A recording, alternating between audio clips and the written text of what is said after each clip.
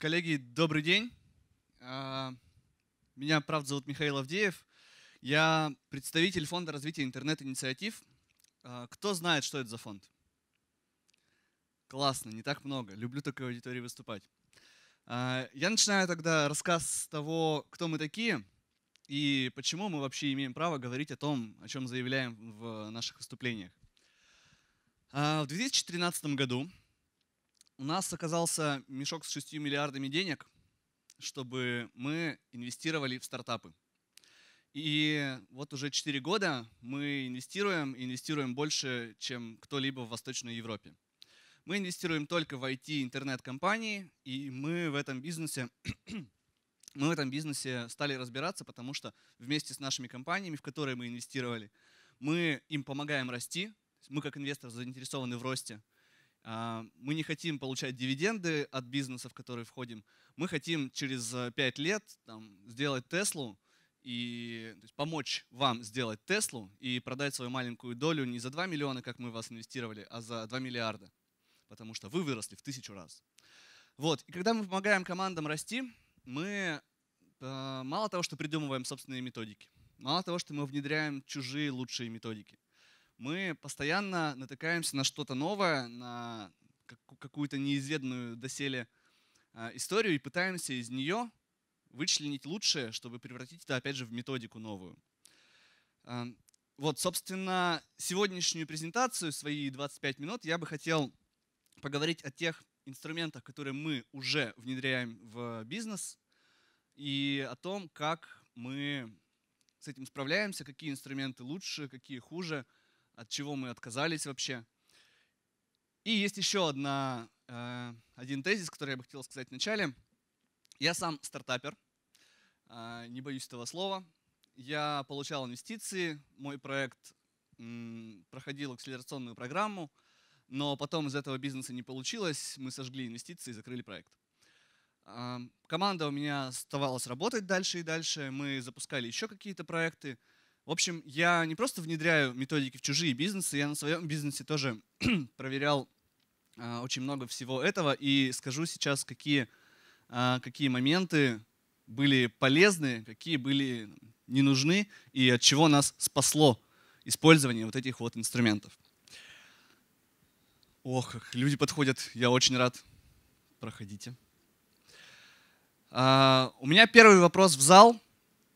Что вообще такое стартап и чем стартап отличается от не стартапа? Соображение. Стартап не готовый бизнес, а только идея. Так, еще. Для вновь входящих сразу вопрос, коллеги, что такое стартап?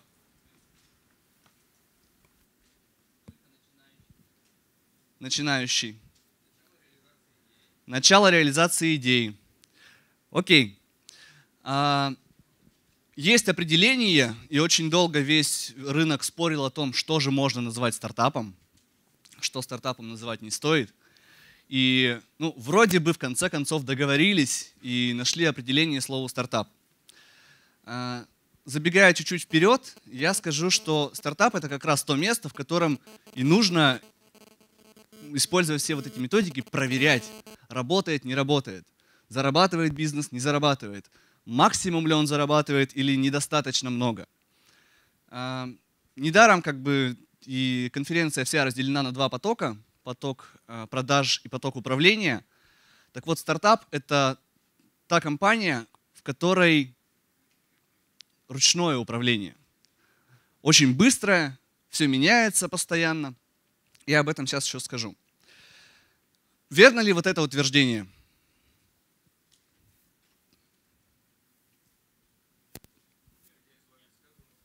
Нет. Стартап не является а, маленькой версией большой компании. Стартап может быть большой компанией, стартап может быть огромной компанией. Вконтакте, когда у них было 30 миллионов пользователей, они говорили, так вы что, мы стартап, мы, мы не знаем, на чем заработаем еще. И когда непонятна бизнес-модель, как раз а, ну, чаще всего такие компании называют стартапом. Они ищут свою бизнес-модель. Идея — это галлюцинация не, не относительно к, названию конференции Bittrex идея. В принципе, когда вы в маленькой компании начинаете там, со своими коллегами, друзьями, соратниками, партнерами, кем угодно, начинаете делать какой-то бизнес, у вас есть в голове идея. Я сделаю вот это. Мы создадим такой сервис, который решит проблему всех людей на Земле. Это всем нужно. Так вот, это галлюцинация. Пока команда вот варится в собственном соку, она коллективно галлюцинирует. Галлюцинации начинают усиливаться. Вы начинаете придумывать к своему несуществующему продукту опции, которые, может быть, и не будут востребованы клиентам. Но вам так кажется, что вот это прям оно самое, это вот то, что есть, прям сейчас сделаем. А, я делал мобильное приложение для мониторинга общественного транспорта. Называлось оно e-транспорт. Кто-то, может быть, помнит, мы начинали с Екатеринбурга, потом у нас было 33 города, 300 тысяч пользователей, мы конкурировали с Яндекс Транспортом. Появились чуть-чуть раньше его, где-то даже выигрывали. Но наша главная галлюцинация была в том, что мы заработаем на этом бизнесе. Мы э, создавали такую большую, удобную штуку для людей.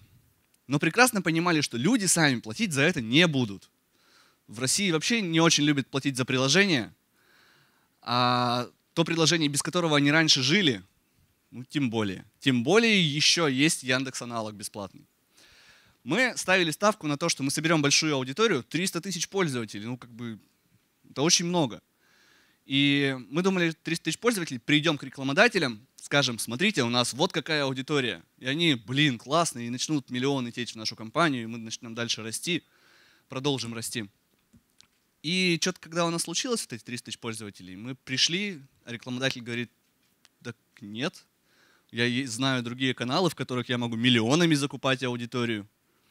Ну, то есть вот ваши 300 тысяч мне сложнее с вами будет работать, чем а, пойти к какому-то агенту, который закупает рекламу у таких, как вы. А эти агенты платят очень мало. И вот наша галлюцинация заключалась в том, что нам будут платить рекламодатели. Что мешало нам вначале пойти, пойти к рекламодателю и спросить, «А будешь платить за 300 тысяч? Вот таких вот людей, которые стоят на остановке, им вроде бы нечем заняться. А, большинство стартапов погибают не потому, что у них плохой продукт, а потому что их продукт никому не нужен.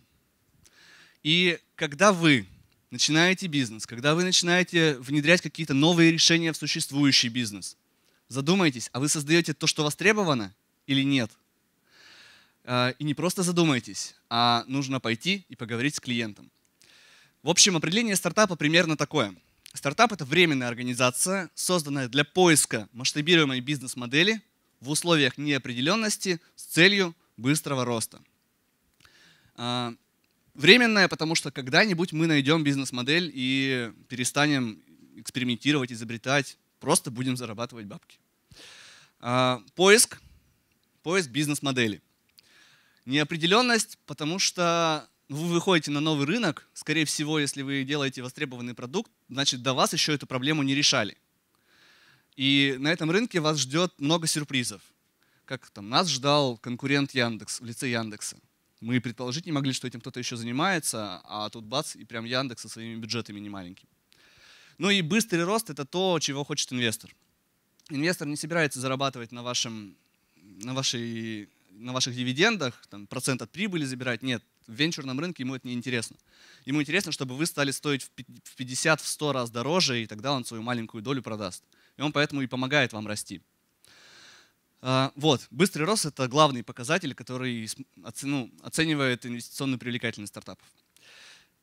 Так что нужно, чтобы узнать, востребован продукт или нет? Всего лишь выйти из своего маленького мира и пойти поговорить с клиентом.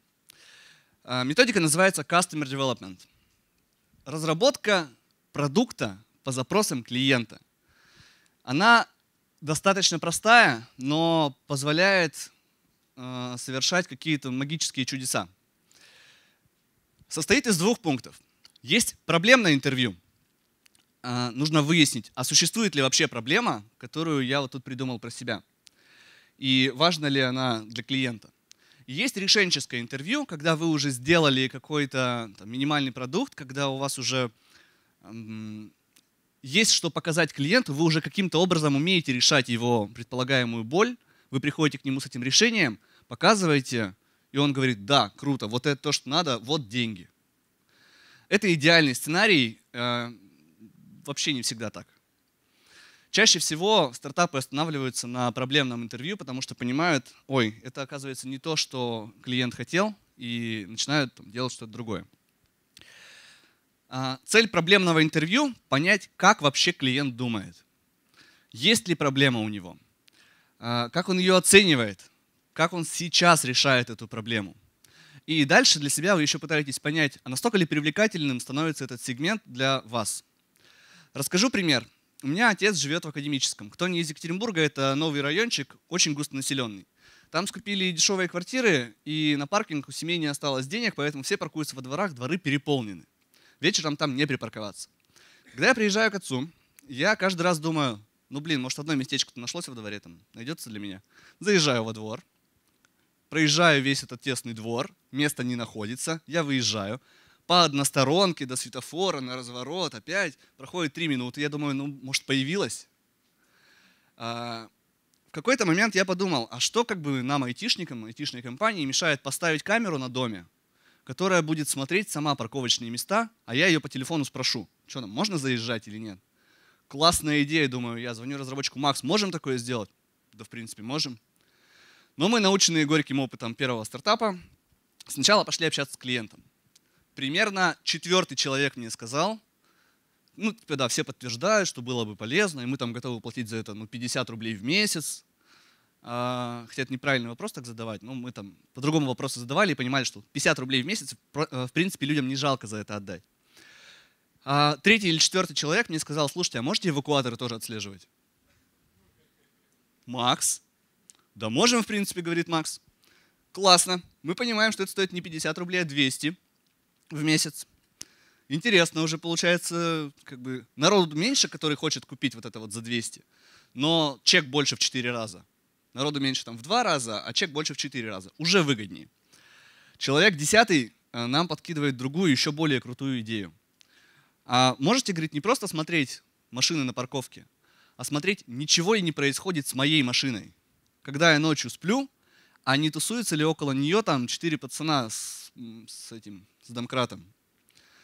И если вдруг э, замечена какая-то подозрительная активность, то либо мне сообщать на телефон, там, алерт выкидывать, а, проснись, там что-то происходит, вот камера, на, посмотри. Либо сразу на пульт частного охранного предприятия отправлять, пусть сами реагируют, они там обещают за 5 минут приехать, вот пусть реагируют. И за это клиент готов платить 3000 в месяц. И мы понимаем, насколько нам неинтересно заниматься парковками. Насколько нам интересно заниматься вот этой охраной машин, и причем запартнериться с частным охранным предприятием, которое бы нам выгодно обслуживало наших клиентов. Мы это не стали делать по той причине, что мы не умеем в видеоаналитику. А кому нужна идея, я могу проконсультировать еще. Мы понимаем, что вот этот сегмент для бизнеса, он крутой. И если бы мы начали делать парковки, мы бы убили полтора года и стали бы зарабатывать там, ну, может быть, 1200 в месяц. А команда человек 5 должна быть при таком проекте. Интересно ли пяти людям работать каждому за 40 тысяч рублей? Я думаю, нет. Всем хочется больше. И проблемное интервью тогда избавило нас от э, ненужных, ненужной работы и от лишних полутора лет. Решенческое интервью, оно обозначает проблему, то есть мы уже знаем, что проблема есть, мы ее подтвердили раньше. Показывает, какое существует для этого решение. И мы пытаемся выяснить, а, решает ли оно проблему клиента. В то же время мы сейчас пытаемся понять уже, насколько для клиента это действительно это решение важно и ценно. То есть уже не для нас, а для клиента. А, если для клиента, то есть есть такое понимание лекарства и витаминка – вот лекарство это то, без чего вроде бы нельзя, а без витаминок обойтись можно. И от понимания, что вы делаете для клиента, вы как бы понимаете, насколько велика может быть цена у этого. А, есть плохие вопросы, которые нельзя задавать клиенту при вот таких интервью. Что вы думаете о нашем продукте? Вы бы купили идею, сколько вы готовы за нее заплатить? Ну и вопросы, которые вообще не относятся к делу, э, они тоже их не нужно задавать в интервью. В интервью нужно четко записывать факты, просить рассказать историю какую-то. В общем, такие вопросы задавать нельзя, вам всегда будут врать. вам будут говорить, а, да, мне очень нужна эта штука. Ты ему только приходишь, слушай, да купи вот там 300 рублей. А, ну нет, в этом месяце не нужна, но в следующем точно надо будет. Что-нибудь будет происходить, у него будут отговорки. А, в общем, эта ложь, она не будет заканчиваться, если вы будете задавать такие вопросы. Есть хорошие вопросы. Расскажите подробнее, как вы сталкивались с проблемой и как ее решили. Всегда спрашивайте про прошлое.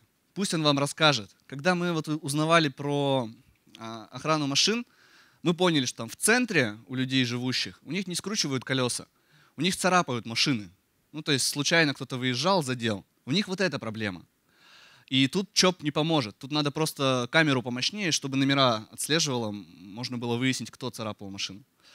А у людей, живущих на окраине города, у них нет проблемы, ну как бы проблема с царапанием в меньшей степени есть. А у них гораздо больше проблем в том, что машины угоняют или скручивают колеса. И когда мы как раз рассказывали, спрашивали точнее у людей о том, как, как вы сталкивались, вам это зачем вообще? То есть почему вы считаете, что это вам важно? Они нам рассказывали истории. Так вот, у нас тут вчера буквально свинтили колеса. А тут у нас еще что-то. Всегда просите рассказать историю. А, сколько денег клиент теряет из-за этого? Люди в центре, у которых просто поцарапана машина, готовы платить чуть меньше, чем люди, у которых скручивают колеса. Ну это тоже понятно. А, вроде бы такая простая истина, но мы бы до нее сами не дошли, если бы нам не подсказали клиенты. И существует ли бюджет на это? Условно, если сейчас а, человек платит 3000 рублей за платную парковку охраняемую, но она там в четырех дворах от него, то он, наверное, будет готов заплатить какое-то количество денег за то, чтобы такая же охраняемая парковка была у него прямо у подъезда. Если он уже тратит, вы можете этот бюджет попробовать перенаправить себе. Там, конечно, есть много других возражений, это в потоке продажи будет. А, но вы можете выяснить все это, и это вам поможет в разработке вашего продукта. И всегда спрашивайте, с кем еще пообщаться. Это, э, это хороший вопрос. Есть такой пример. Одна из компаний, с которой мы работали, называется «Две ладошки», они делают, делали, они тоже закрылись, делали маленькую коробочку, в которой она по подписке приходила мамочке, ну, в семью. Там всякий пластилин, аппликации, детские ножницы. В общем, что-то, чем дети могут себя занять. Такое, с одной стороны, образовательное, развивающее, с другой стороны, игрушка. Вот, они по подписке через интернет продавали это все. У них была вот такая гипотеза, что их клиенты это женщины на 80%, что им 25-40 лет, а, они живут, скорее всего, в Москве, Э, воспитывают несколько детей, социальный уровень там средний и выше, э, являются пользователями интернета, любят экспериментировать, активно занимаются образованием ребенка. Как вы думаете, что здесь не так? Нет. Правда, женщины. Правда, в основном в Москве. Активные пользователи интернета, ну тут как бы непонятно, но в целом да. Одна простая истина. Воспитывает несколько детей. Нет. Два ребенка сами себя развлекут. И это выяснилось, когда просто пошли и поговорили с клиентом. Что мамы, у которых два ребенка, они в меньшей степени заинтересованы в покупке таких вот отвлекающих, развивающих игр для своих детей. Потому что их двое, они как бы сидят, играют, у них все хорошо. А вот те мамы, у которых один ребенок, вот им надо. И вы представляете, как можно по-другому старгетировать аудиторию? Как можно не тратить лишний рекламный бюджет на тех родителей, у которых два ребенка? Ну, то есть можно гораздо процентов, наверное, на 20, мне кажется, повысить конверсию. Вот, это инструмент Customer Development. Он, задавая простые вопросы вашему клиенту, там правильно записывать их, конечно, надо еще. Я об этом скажу чуть дальше, будет еще один инструмент. А, он позволяет все это сделать. Дальше. Второй инструмент, о котором я хотел сказать, который используем мы, который используют все наши портфельные компании, это HADI. HADI — это аббревиатура а, расшифровывается она так. Гипотезы, экшен действие какое-то, дейта мы собираем информацию и инсайт. Делаем из этого какие-то выводы, ловим озарение. Вот этот цикл не должен прекращаться, пока вы не нашли самый эффективный способ а, зарабатывать деньги, там, тратить меньше всего ресурсов, а, дешевле привлекать своего клиента, дешевле производить продукцию – и больше зарабатывать, там, увеличивать число повторных покупок, сохраняя там, срок жизни клиента, пока вы вот не дошли до идеального состояния, которое вам, вас устраивает, Нужно тестировать, тестировать, тестировать вот по этому кругу.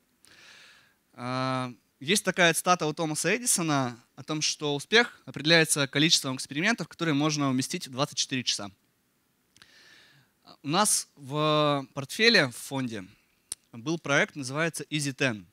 Easy 10 — это мобильное приложение, которое 10 слов английского языка в день тебе подкидывает, и ты типа их учишь. А, они настолько много экспериментировали, они настолько любили эксперименты, что один раз из App Store удалили свое приложение, а, чтобы там что-то проверить. Залили другое какое-то, но у них там было 400 тысяч пользователей, и они удалили это приложение. Ну, как бы, нифига себе, разве можно такое представить себе? А ребята сделали, потому что у них была гипотеза. И они ее проверили и, по-моему, подтвердили. Хорошо, так. А сейчас ребята развивают уже большую сеть всяких э, лингвосервисов и живут в Кремниевой долине. И привело к успеху, может быть, конечно, не только вот эти две методики, а то, что ребята сами молодцы, идея у них хорошая была на старте. Но когда они пришли к нам, они зарабатывали условно там 500 тысяч в месяц. Когда они уходили от нас там, через три месяца, они зарабатывали порядка 2,5 миллионов. В пять раз вырасти с не нулевой суммы. Это с нуля как бы просто вырасти до 100 тысяч. А с 500 тысяч сложно вырасти. И они пробили этот порог за счет того, что экспериментировали, выясняли потребность клиента. И еще один инструмент, который вот он был прям придуман у нас в фонде, э, сделали простую табличку. Я, наверное, могу пообещать презентации потом? Они будут как-то отправлены? Э, я думаю, пообещать можно. А, у кого очень хорошее разрешение на фотоаппарате, можете попробовать сфотографировать. Смотрите, в чем суть этого инструмента. А времени еще, Михаил, напоминаю, то есть осталось буквально пару минут и потом вопросы. Окей, okay, я буквально три слайда. А, есть клиентские сегменты, мы их выделяем. Тут взят чей-то пример, не знаю чей. Клиентским сегментом является крупный магазин, мелкий магазин, торговый центр, какое-нибудь маркетинговое агентство. У нас есть какое-то ценностное предложение, гипотеза ценностного предложения – что для крупных магазинов мы увеличиваем объем продаж, снижаем затраты за счет лучшего мерчендайзинга, увеличения объемов. Для мелких магазинов увеличение продаж за счет лучшего мерчендайзинга. Для торговых центров повышаем арендные платежи. То есть совсем другое ценностное предложение. Окей, гипотеза. Мы идем дальше. Мы идем общаться с клиентом. Проблема подтверждена. Если да, круто. Движемся дальше. Весь инструмент работает в том плане, что а, мы движемся, пока у нас где-нибудь не будет красного квадратика, пока где-нибудь что-нибудь не подтвердится. Вот эта часть, левая половина экрана, это мы все делаем, возможно, еще без продукта, но во всяком случае без качественного, хорошего продукта. Может быть, у нас там появился минимальный э, MVP, какая-то минимальная версия, прототип, который уже решает проблему. Мы в ручном режиме идем и забираем деньги у клиента.